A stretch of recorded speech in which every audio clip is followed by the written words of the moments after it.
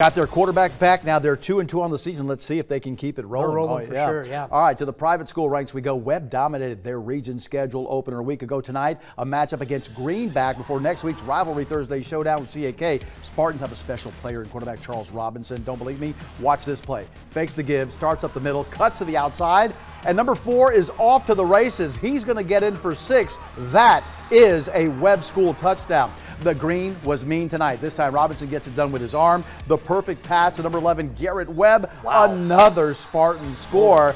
Woo! Webb is by no means a one-man show. Robinson gives to number six, Jalen Hill. He weaves his way into the promised land. It was 21-0. David Meskey's bunch, they're very special, improving to 4-0 now with a 48-7 shellacking of Greenback.